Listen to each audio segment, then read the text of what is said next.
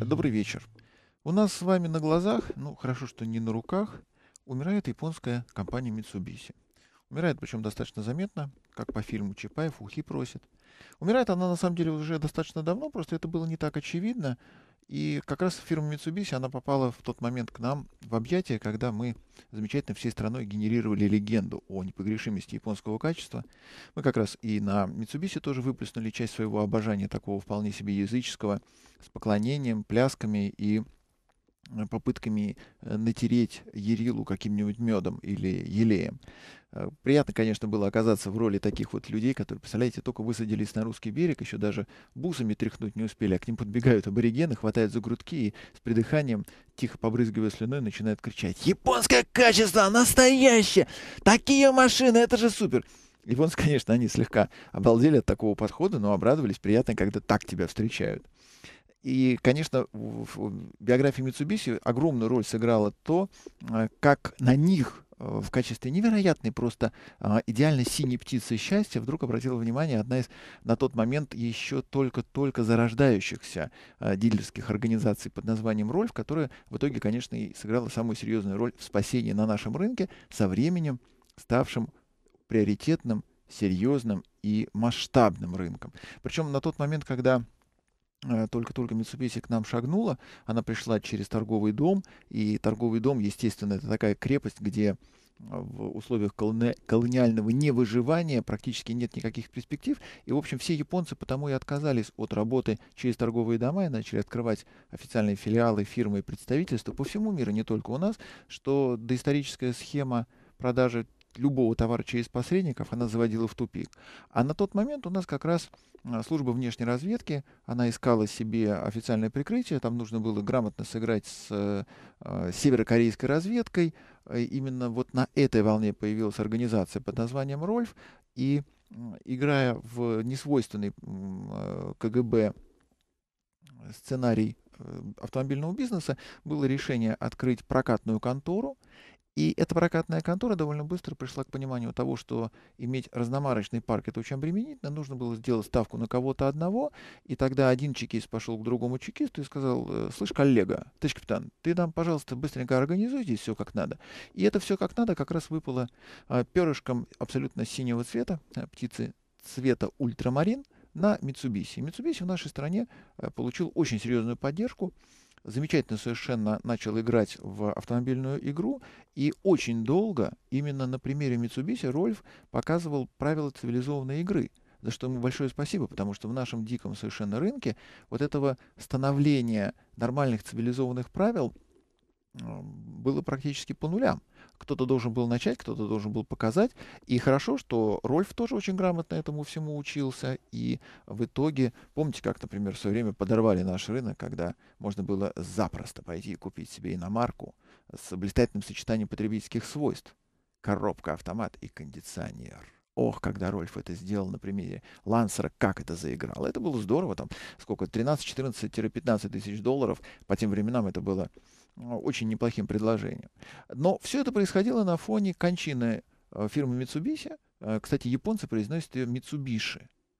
И они вот пришепетывают на этом слове. Ну, у нас как-то вот CCP, Mitsubishi, они так вот сыгрались, что теперь уже фирма Toshiba, которая пишется практически так же в английской транскрипции, идет через Ш, а вот Mitsubishi через S. Фирма Mitsubishi, она э, подыхает и как подводная лодка тихо ложится на грунт уже в течение, наверное, двух десятков лет. У него был, конечно, период расцвета, но в свое время в биографии этой компании появился один очень толковый управляющий, который сразу понял, что, в принципе, модель-то не очень жизнеспособна. И он начал играть в международные альянсы. Мы это не застали, когда э, в конце 70-х годов Mitsubishi была э, в том числе филиалом Крайслера.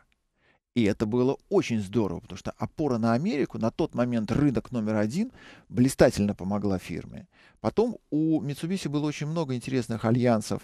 Они э, играли с Volvo, они играли с Мерседесом. Причем с Мерседесом они заходили дважды.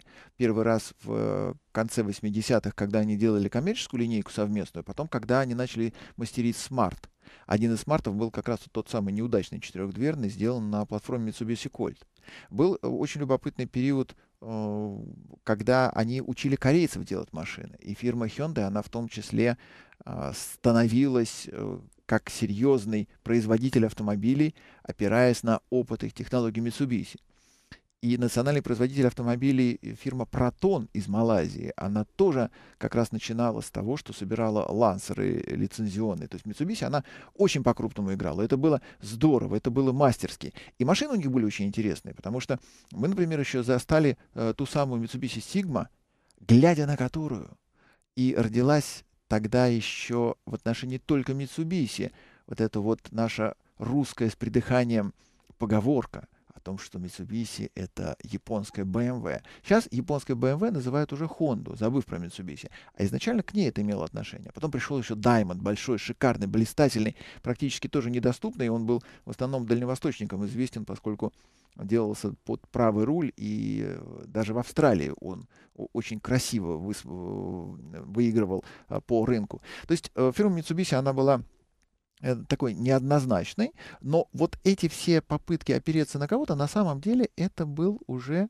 экономический момент э, легкого затопления. Не получалось сыграть сразу и во всем, несмотря на диверсификацию в целом э, консорциума, потому что есть банк Mitsubishi, есть Mitsubishi Electronic, есть масса других подразделений, причем достаточно жизнеспособных. А вот автомобильное, оно играло, пытаясь к кому-то в объятия попасть и а, так вот аккуратно перебраться, если можно, на шею, совместно существовать, и каждый раз это заканчивалось ничем. Потому что американцы от них, от них отказывались, а, GM, в конце концов, от Mitsubishi отказался, Mercedes от них отказался, а, Volvo от них спрыгнула. И вот эта трагедия, которая тоже совсем из недавнего прошлого, когда пришлось продавать завод в Голландии совместный с Volvo, там третьим участником было голландское правительство, завод Netcar, производивший в свое время Каризму, и Volvo первую сороковку, его же продали за 1 евро. Просто потому, что этот завод нужно было сбыть куда-то. И, с одной стороны, мы с придыханием относились, с другой стороны, компания тонула, и вот несколько последних десятилетий сопровождались попытками реструктуризации и какой-то новой игры внутри компании, которая нам не была видна. Последний план спасения, он помечен был 2004 годом, когда убытки совершенно фантастические, там в миллиарды йен, привели к тому, что нужно было что-то делать.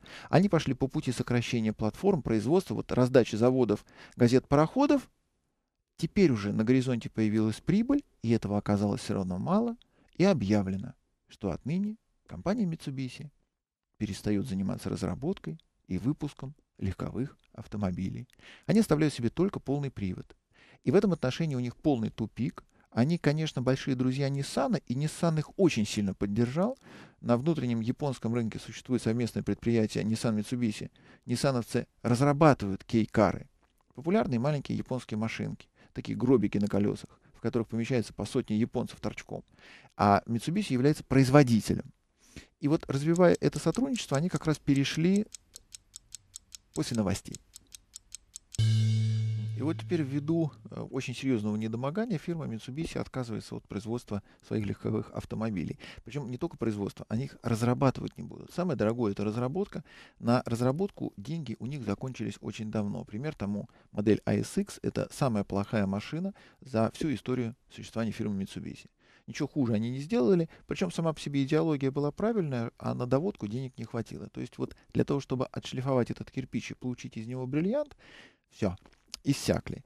И теперь, после того, как они провели целое десятилетие в попытках как-то затянуть пояс, они пытаются затянуть у себя на шее еще и веревку, и приходят вот к чему. Партнер, главный, глобальный партнер, на которого они сделали ставку, Nissan, э, подкинет им несколько своих моделей. Это будет бэдж инжиниринг, в котором инжиниринга нету, а бэдж как раз по всей лицевой части черепа, то есть по всей физиономии. И если был в свое время грандиозный автомобиль э, Mitsubishi Diamond, теперь его нет, но зато будет совершенно неизвестная на японском рынке машина под названием Infiniti M. Она, конечно, тоже Nissan, но все-таки выглядит она кракозавристо и несколько нестандартно. И называться она будет Mitsubishi Prodia, причем она и длиннобазная, и краткобазная, и два разных имени у нее. И она уже потихонечку продается в Японии с логотипом Mitsubishi. Те, кто не в курсе, подозревают, что вполне возможно есть такая машина, вот она Mitsubishi. А еще у Nissan в совместном владении с Renault и даже немножечко корейцами а, есть совершенно бесполезный беспонтовый завод Samsung. Он что-то такое там производит, мало кому нужен, делает весьма неудачные модели, откровенно неудачные, например, Renault Latitude, которая Samsung SM5.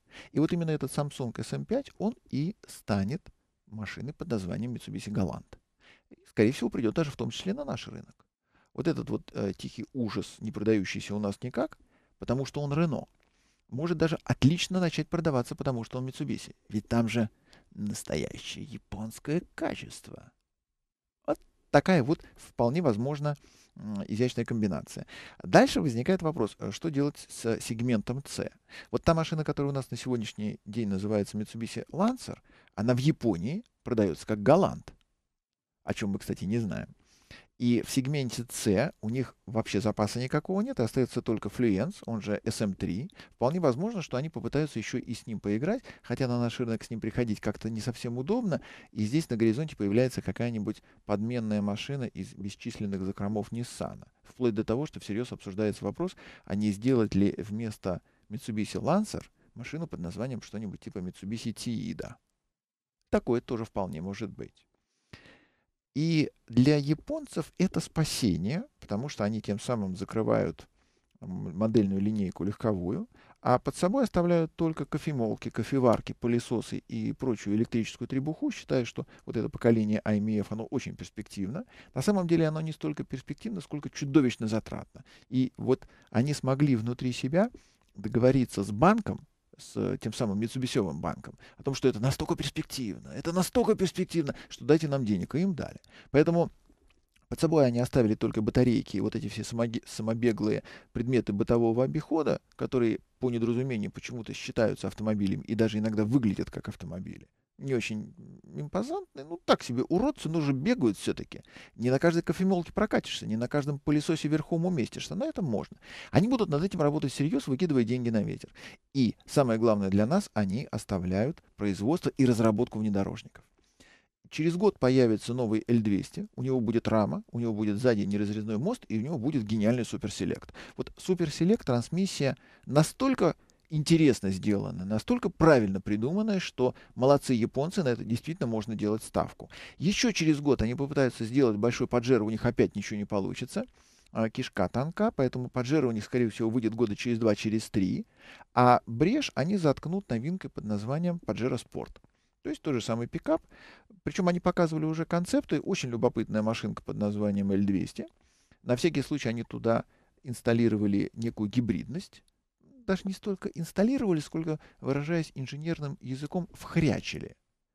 И где-то, наверное, в Японии это тоже будет отчасти популярно. Приятно все-таки э, ведра с гвоздями или с помоями вести в районе предгорьев Фудзиямы, ну а где там еще асфальта нет, на полном приводном пикапе, который немножечко даже гибрид. И так или иначе, они остаются в сегменте полного привода, у них есть Outlander достаточно новый, у них есть вот это непотребство ASX, они через год попытаются его заменить на что-нибудь, то есть с нуля создать новую машину, у них опять-таки не получится, потому что это очень серьезный цикл доводочных работ. Ну, хорошо, пусть работают. И они еще вернут на наши рынки Делику. Но если первая Делика, она же L300, это был Паджеро с э, кузовом а, от микроавтобуса, то нынешняя Делика — это Outlander. То есть машина пониже, труба пожиже и дымок так себе. Ну, любопытно, опять-таки, полный привод. Они будут играться в сегменте полного привода.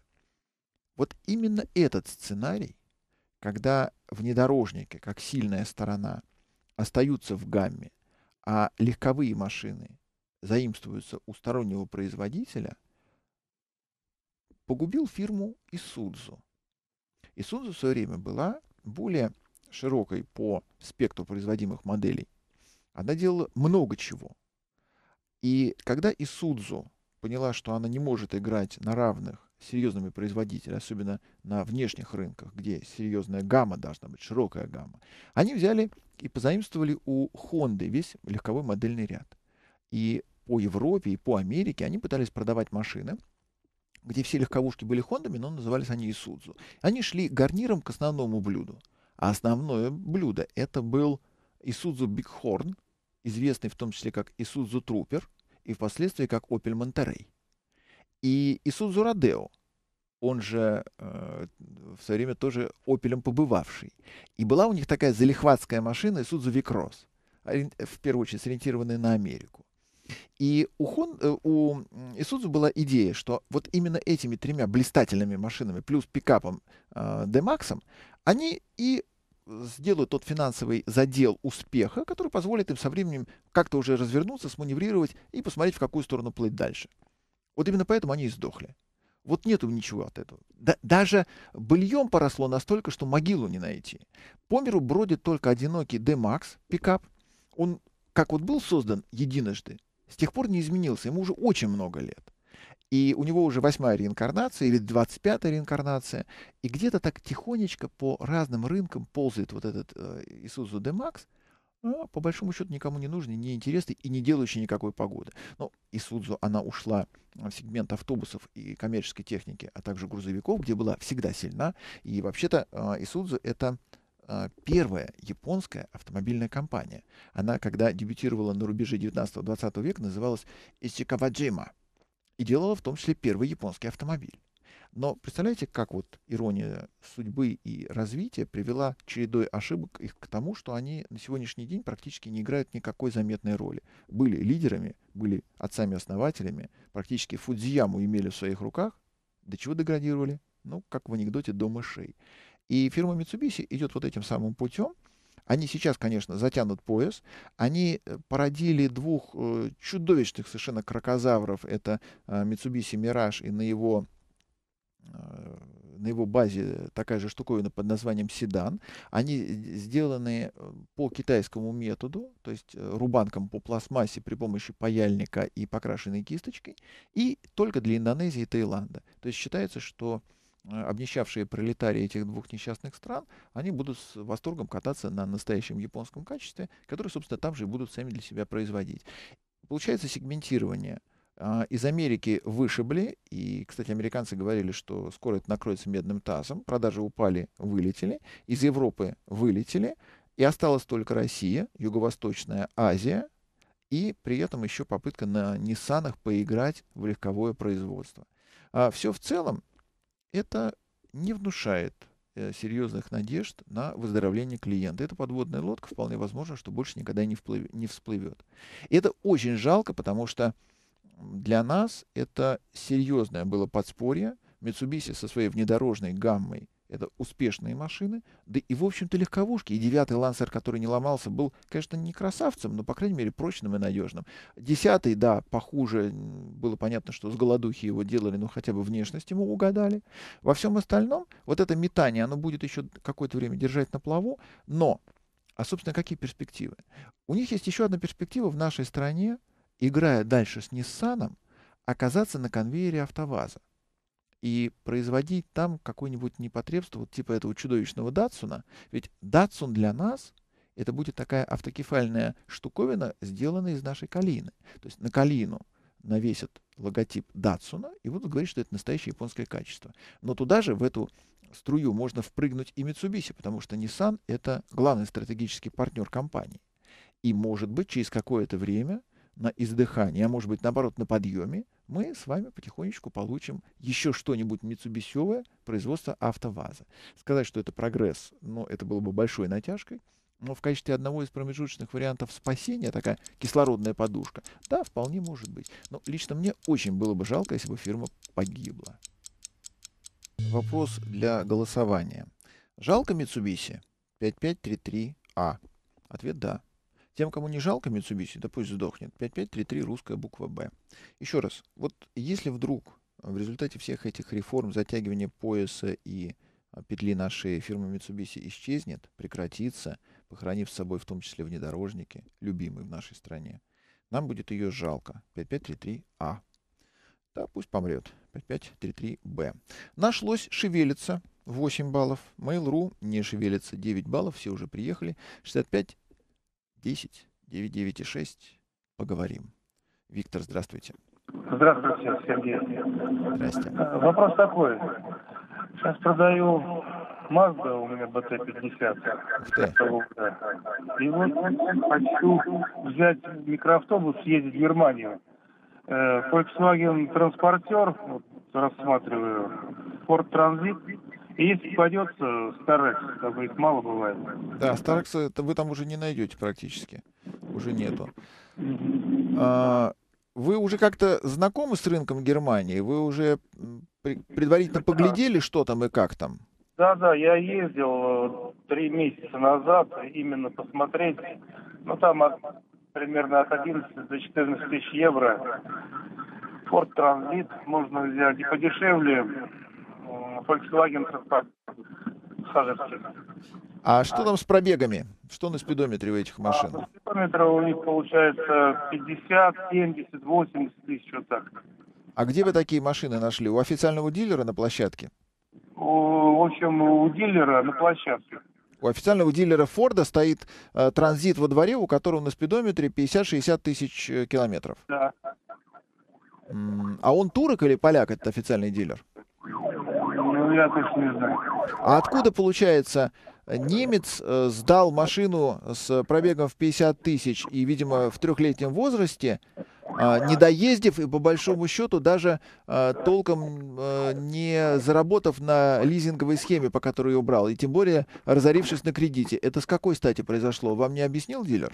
А, ну, значит, это скрученный, что ли, Конечно. Причем очень сильно, потому что найти в Германию машину с пробегом, коммерческую машину с пробегом меньше 200 тысяч, а вы, судя по всему, нашли россыпь. То есть вы пришли, а там у дилера, ведь он был, наверное, не один с таким пробегом.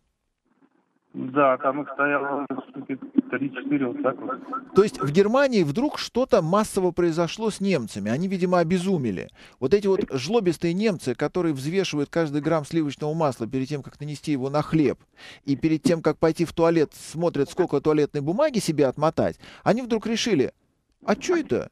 50 тысяч? Да ну, старье, как Слушай, как я буду перед ребятами смотреться, да, когда машин старый? Подумаешь, 50 тысяч. Слушайте, э, Виктор, вы нашли какую-то невероятную грядку. Э, я думаю, что если вы настучите в полицию, как честный немец, вы удивитесь на то, с какой скоростью э, этот дилер переедет в тюрьму вместе со своим товаром. Потому что я никогда не поверю в 50 тысяч пробегов Форда Транзит в Германии, да еще массово. Не бывает такого. Вот не бывает. Стоит сюда ехать за машиной? Вот к этим ребятам уже нет. Да.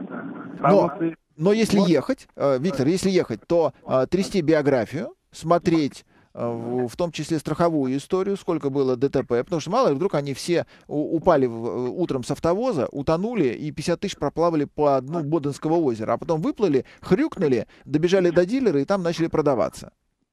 Понял. Сергей, вопрос такой еще. Вот сейчас вышло Peugeot эксперт. Как да. вы на это Подскажите, пожалуйста. А Peugeot Expert — это э, та самая машина, которую мы так и не поняли, э, будет она у нас всерьез или нет, и откуда она взялась. Это минивэн. Это то, то самое, что у них называется 807 э, Peugeot. То есть это среднеразмерная машина. Боксер он больше, а TP он меньше. И в Европе он очень хорошо и грамотно себя зарекомендовал, особенно в том числе потому, что у него классные дизеля. То есть знаменитые на всю Европу дизеля ну, ну, эта машина будет бояться перегруза. Если вы попытаетесь в нее впереть столько же, сколько обычно в транзита, она помрет.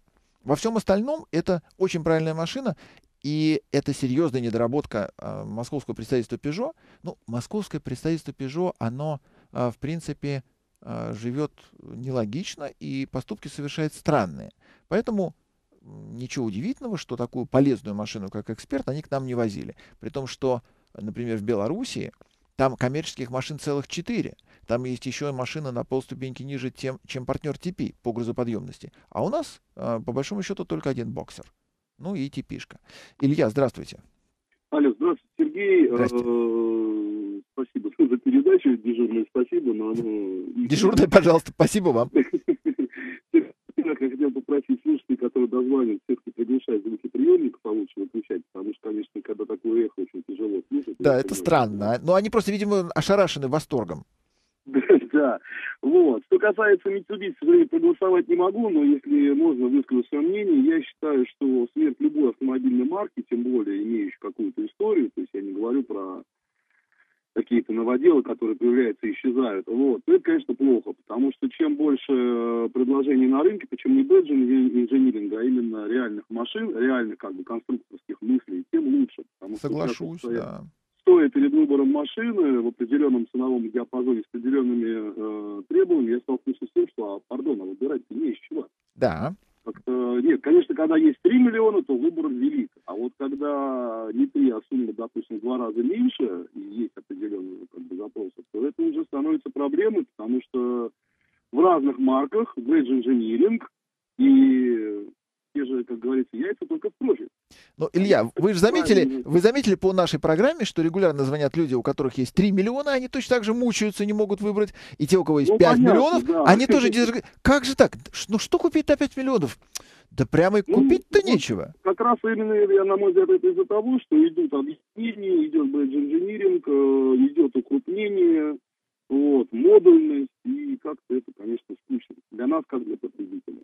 Да? Ну, Особенно... Мы, не являемся, мы не являемся владельцем Mitsubishi, поэтому их деньги им виднее, как их... Ну, они, они же все-таки могилу себе копали очень давно, и у японцев это принято в том числе, выкапывание себе захоронения, в силу того, что они сориентированы на внутренний рынок, и они думают, что мы добьемся здесь стабильного успеха, удовлетворим своего самого любимого, трепетного и придирчивого клиента, придем в Европу или на любой другой рынок и одержим победу. А рынок настолько другой, что никак не получается, и особенно во внешности. Ведь Mitsubishi сколько раз проиграла именно из-за дизайна. Японцы проигрывают из-за... Внутри Японии это убожество считается эталоном. Они приезжают к нам, как э, третий Паджеро, например, проиграл на всех рынках. Ведь второй Паджеро был молодцом, четвертый, который является рестайлингом, молодец, а третий урод Крокозавр похоронил продажи, и тут же э, похоронил продажи урод Голланд, а переделывать его уже было поздно. Плати, пластическая операция опоздала. Ну, Только... Талант они по американской, чисто заточенной под американцами машины, под, э, купить все рынки остальные завоевать. В этом тоже была ошибка. Голланд был, который, последний Голланд, он был сделан явно вот американцем. Да, так он и выпускался и... там. И, да, да. и тем не менее, когда они приехали с этой машиной к нам, ведь они очень серьезно потратились на то, чтобы этого американца как-то все-таки попытаться адаптировать под нас. Ведь вплоть до того, что они ему сзади раздвинули лонжероны, изменив штамповку днища, чтобы впихнуть туда полноразмерную запаску под нас. Знаете, какие это затраты? И не помогло, потому что одно дело а, блистательный Diamond, который был великолепен по дизайну и смотрелся шикарно на всех континентах, даже в Австралии, где, в общем, Mitsubishi нафиг никому не сдалась, он был привлекательной машиной. Он свой ну, рынок там имел свой процент. Diamond и Sigma, они, к сожалению, тогда еще к нам не поставляли. А да. То, конечно, это были бы хиты. Да, а Сигма-то какая была? Универсал, трехлитровый, Какие машины, да. Хотел еще сказать, согласен с вами по поводу вот э, предыдущего звонившего, что Peugeot 807, которая в Европе, ну, сезона, скажем так, достаточно успешно продается, у нас ее почему-то нету, ну, глобально нету. Вот это, конечно, большой прокол. Из-за мотора. Очень, очень Знаете как, пежошники, они же самые умные на свете. Ну, любой француз, он по определению самый умный. Когда Peugeot к нам притащил сюда 807 после рестайлинга, они на него назначили цену чуть-чуть дороже, чем Прада. И очень удивляюсь, а что-то никто не берет? Такая машина в натуре клевая. А народ вертел пальцем у виска и говорил, вы конкурентов-то видите? Да ладно, какие там конкуренты, мы французы. Не, знаете ну, ли, Прада-то получше будет, чем 807. Кстати, кстати, вот заметьте, что концерн ПСА, конечно, он поувереннее держит ногах, чем Mitsubishi. Но, насколько я слышал в последних новостях, у них тоже огромные проблемы, закрытие заводов, спады, да. Э, долги. Так что я думаю, у них тоже самое. очень не хочется, очень не хочется, уважаю марку Peugeot, но сам концерн ПСА, на мой взгляд, тоже через некоторое время мы услышим очередные новости об объединении, слиянии, покупке, продаже.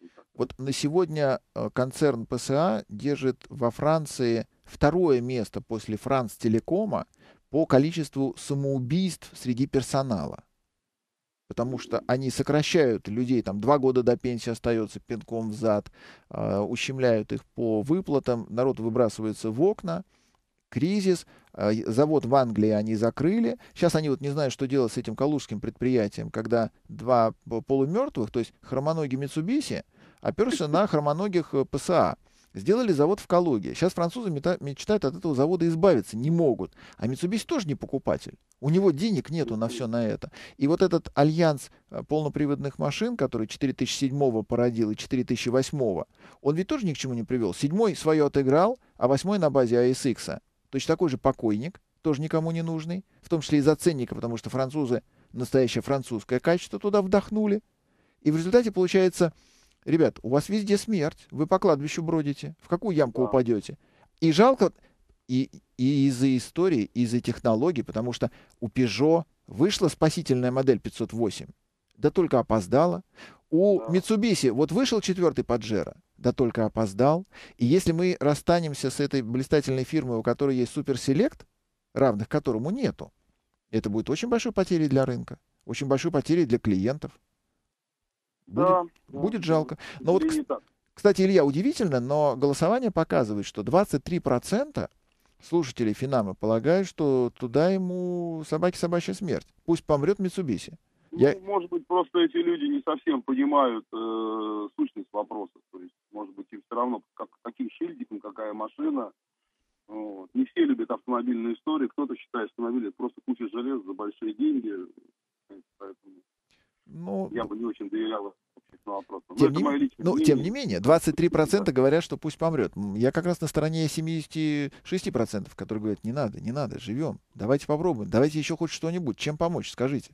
Ну, кроме как из моего кармана, потому что была бы это наша контора типа АвтоВАЗа, мы бы с вами, Илья, уже бы платили бы в три конца. Ну, подождите, мы бы вообще жили бы ради этого завода, как мы живем ради АвтоВАЗа. Да, АвтоВАЗ это наше все, вместе с Пушкиным и Путиным, поэтому у нас вариантов нет, должны кормить, обязаны. Да. Э, Сергей, хотел бы уточнить у вас, вот... Э, Не успеете. Успею, еще полминутки. Э, хотя бы два слова. Kia Sorento 2013 2.2 турбодизель. Великолепная машина, но бойтесь ее, потому что по полному циклу ее начали делать теперь на автоторе в Калининграде. Со сваркой и окраской. Да, со сваркой и окраской. Поэтому, если вы хотите себе Сорента, хватайте немедленно то, что там есть, оно тоже калининградское, но на подсборке. Это все-таки крупноузловая. А так уже все полностью наше будет. Перерыв на новости. Наш лось мужественно держит сжатыми зубами свои неподкупные 8 баллов. Mail.ru все совершенно спокойно, движений нет, 10 баллов. Магомед, неужели это вы? Добрый вечер, Сергей. Да, это я, несмотря на глюк телефона, все-таки прорвался. Завсегда ты нашего эфира, Магомед. Предчувствую приятную беседу с умным человеком. Мне очень приятно э, ваше мнение обо мне. Э, мне действительно крайне жалко, что Mitsubishi может пропасть, э, потому что это люди, которые разработали, в моем понимании, да и не только в моем, насколько я помню, идеальный климат-контроль.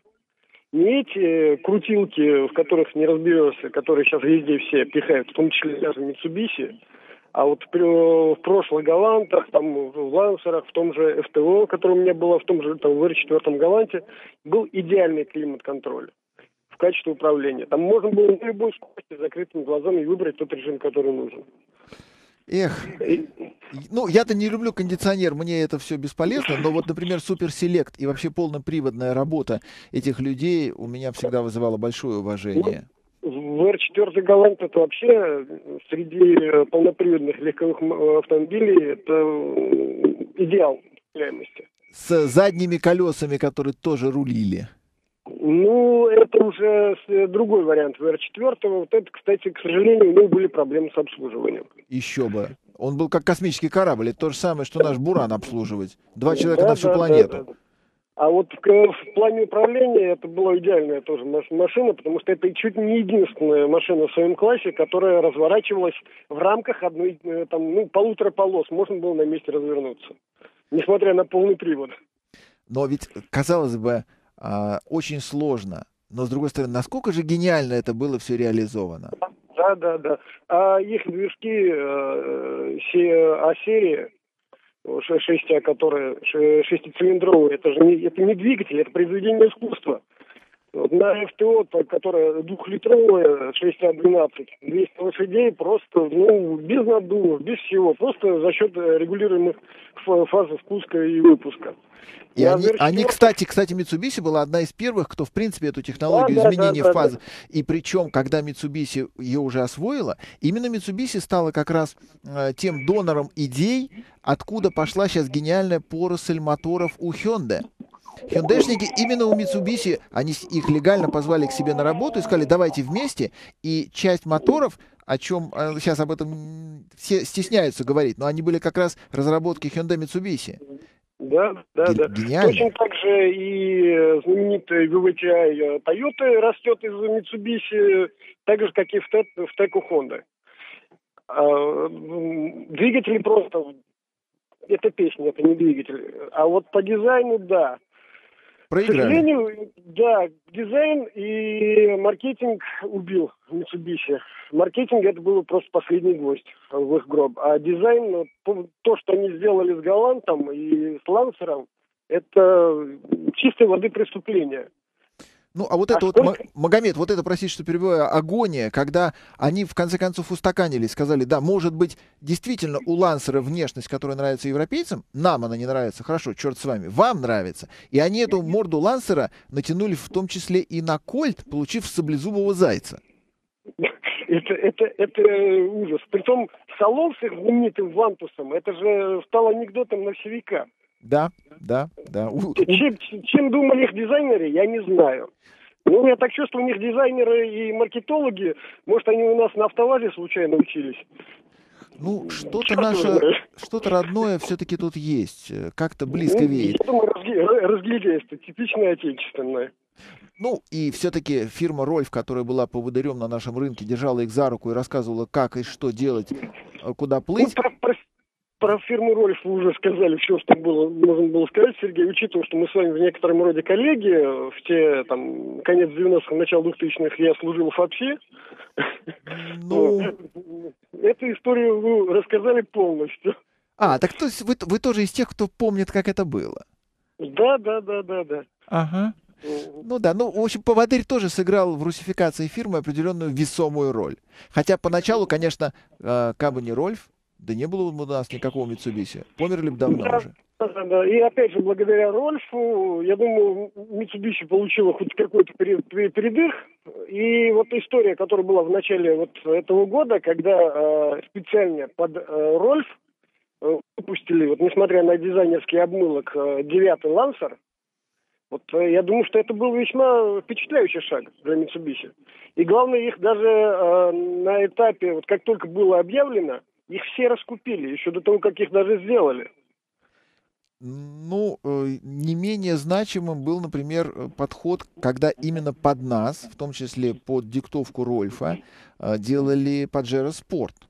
И вот был этот разговор по поводу того, насколько он должен не быть пикапом, делать ли сзади рессоры или пружины. И американцы это получили Pajero Sport первого поколения на пружинах, э, на рессорах, а мы получили на пружинах.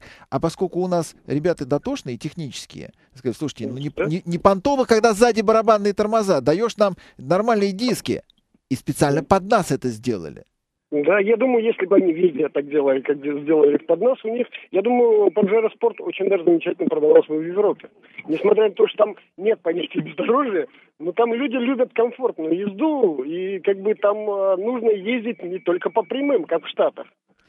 Ну, Это в Штатах у нас э, там да, э, идет всегда по прямой, а в Европе, в принципе, так же, как и у нас они умеют делать повороты. Они вообще-то в Европу сунули с этими машинами, и по Германии катаются пикапы L200. Они там выполняют свои определенно строительные коммерческие функции. Но в Европе очень тяжело конкурировать. Там очень, очень серьезно все. И они все-таки в Европе делали ставку на маленький типоразмер. Они же не зря играли, например, с Мерседесом э, чтобы, угу. чтобы у них получился совместный смарт. Они не зря на своем заводе Netcar в Голландии до последнего пытались сделать Кольт который уже, в общем-то, устарел. Они играли, как им казалось, по правилам Европы. А Европа любит маленький размер. И... Эм, Европа не любит маленький размер. Европа любит считать деньги. Да. А вот, э, к сожалению, Mitsubishi туда пришла с э, мнением, что там будет точно так же все, как в Америке и в России. А в России, в Америке, так же как в Эмиратах, э, деньги считают редко. Ну вот, кстати, Магомед, как они в Америку пришли? В Америку все японцы пришли, предложив дешевку за 3 копейки, да. способную да, перемещаться. Да, да. А потом растопырили пальцы и сказали, да не, ну вы что, ребята, мы крутые. И этой крутизной попытались еще нас по углам погонять. Не получилось. Ну, как ни странно, Лекс уже получился у той Тойоты. Притом они одновременно Toyota деш... продают дешевый вариант Тойоты и дорогой вариант Лексуса. По а... комфорту ничем не отличается от Мерседеса, хотя чуть-чуть дешевле. Вот насчет того, что у Toyota в Америке получилось, а что нет, вот тут тоже не так все однозначно. В общем-то, Toyota ну, молодец. На, на, фоне, на фоне Mitsubishi у них получилось. Это да. Это точно. Я в свое время, э, когда у меня был ФТО, э, захотелось чего-то побольше. Захотелось мне купить э, ГТО, ага. которая GT3000 в Европе, да. и, и нашел только американский вариант, Dodge Stealth. И я был поражен, что, грубо говоря, между этими двумя машинами общее только стекла. Все остальное абсолютно разное. Точно так же, как и повадки. Если европейская э, версия готова управляется нормально, там GT2000, и праворульно управляется тоже хорошо, а тем... Я был поражен, когда сел в Dodge Styles. Он едет только по прямым. Тем более, что европейец-то был еще полноприводным. Да, да, да, да, да. Потому что 3000 а GT у нас, она когда пришла, она была V-образная шестерка, автомат, полный привод, и это была ураганная mm-hmm. машина. Это была такая Феррари для бедных, но она смотрелась-то как шикарно. Мало того, смотрелся, она действительно ездила на, даже, я думаю, лучше, чем Феррари. У меня есть знакомые, которые занимаются тюнингом. Я был одним из тех идиотов, который вывел на улице так называемых стритрейсеров в начале 2000-х. И есть такой грешок, о чем до сих пор жалею. Вот. Есть э, вот, люди, которые занимались тюнингом. Они, э, при том, вложив мини- минимум средств, э, умудрились сделать ГТО, с которым, а, именно на базе Леворуни европейской, ни одна Порше, ни одна Феррари не могла соревноваться.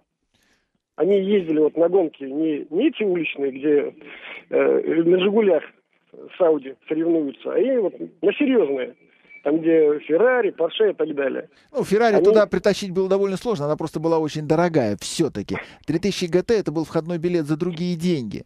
И вот результаты опроса. 77% слушателей Финам ФМ очень жалко, если фирма Mitsubishi почит в Бозе. 23% приветствуют такое направление развития событий и считают, что помрет, так и пусть помрет. Отлично мы проживем всей страной без этого бренда.